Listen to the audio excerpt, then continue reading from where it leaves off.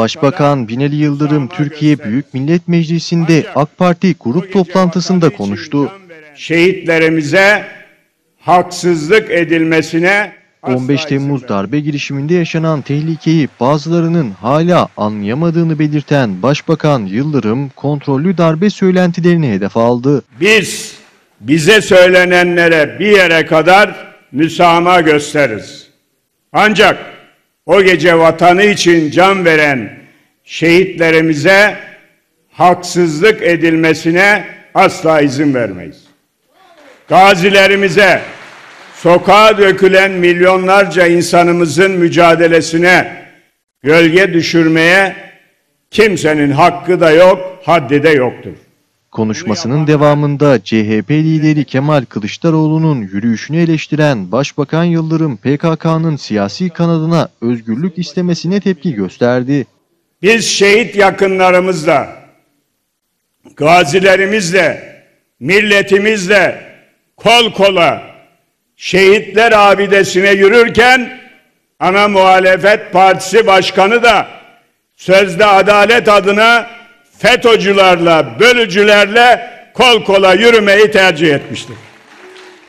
Başbakan Yıldırım FETÖ üyelerini devletin bütün organlarından temizlemek için olağanüstü hal ilan edildiğine dikkat çekti. 168.977 şüpheli hakkında işlem yapıldı. Bunlardan 33.180'i kamu görevinden uzaklaştırıldı. 111.240'ı ihraç edildi. 35.639 kişi de yapılan incelemelerden sonra görevine iade edildi. Bugüne kadar aralarında mükerrer de olanlarla birlikte 300 bin itiraz başvurusu alındı. Bunların hepsi tek tek inceleniyor.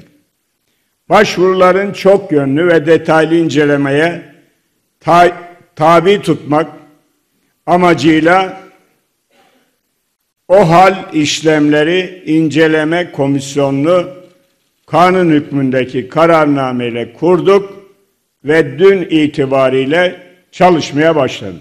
Kurunun yanında yaş yanmayacak. Bu itiraz komisyonunun en önemli özelliği incelemelerden sonra eğer göreve iade yönünde bir karar çıkarsa ilgili kurum 15 gün içerisinde o kişiyi tekrar görevine başlatacak. Başbakan Binali Yıldırım partili gençlerin şarkı söylemesini, konuşmasını keserek dinledi. Müzik için ara verdik arkadaşlar.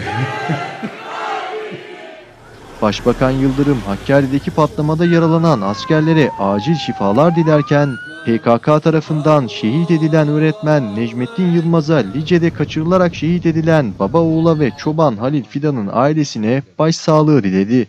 Terör örgütü darbe üstüne darbe aldıkça bulduğu her fırsatta artık masum, savunmasız insanlara saldırıyor, gerçek yüzünü bir kez daha gösteriyor.